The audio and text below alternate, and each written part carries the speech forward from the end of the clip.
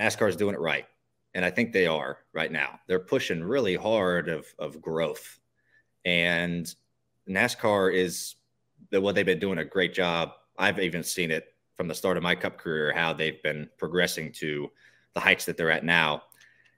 And it just, it, it grinds my gears a little bit when people just say, "Oh, the sport's just going downhill. It's going downhill." like, what? Are you, what are you talking about? It's going uphill. It's yes. Like, it's just it's rapidly going uphill, and uh, in a in the negative world that we live in, I guess you're going to have that all the time. But yeah. um, I, I think they're doing a great job, and and I feel like that's NASCAR's job, right? You have to push your athletes, right? I think that's any league or you know association, you know NBA, NFL, MLB. That's your job to push your athletes and promote them, right? Like the teams and sponsors, right? They have their role too, but as far as like getting all of your drivers out there as a whole, that is the organization's role, right? And and in this case, it's NASCAR, and they've taken on the challenge and they've done a good job. And I'm excited to see the heights that it's going to continue to grow to. Um, so it's it's been I've been really fortunate to be a part of it at a great time to where it's really on a great rise right now.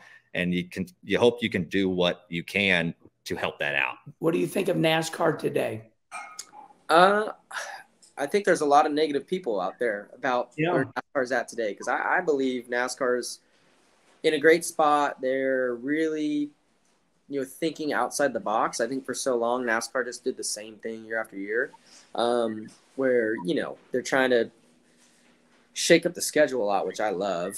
Um, even the next gen stuff is is, is a you know kind of different business idea for the you know, sport and team owners and all that. So I feel like NASCAR more than they used to be or are much more forward thinking now. So um, I feel like teams, drivers, you know, the organization and NASCAR are all working together closer than they ever have, and, and that only means good things. So um, obviously, every every sport, maybe besides NFL, has seen a dip in audience, you know, whether it be at the sporting event or on TV, and that's just the way you know kind of life is right now. But I do feel like NASCAR has held their own much stronger than the other sports. So um, yeah, I think they're doing a great job. They've got great people in place, and and I'm you know proud to be you know representing them on the racetrack.